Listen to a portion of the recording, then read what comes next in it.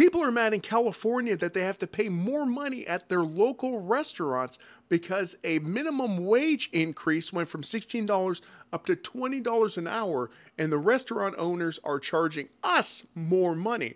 As a matter of fact, one of the Texas Double Whopper from Burger King went from $15.09 on March 29th up to $16.89 on April 1st. But one of these restaurant owners who has 18 restaurants in Northern California said this As a business owner, when you're dealing with this kind of extraordinary overnight change, you know, a 25% increase in wage, no stone has to remain unturned, which means that they're going to take from you, from us, instead of taking from them.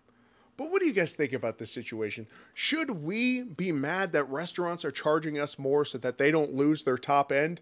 Or should they give up some to make us happy?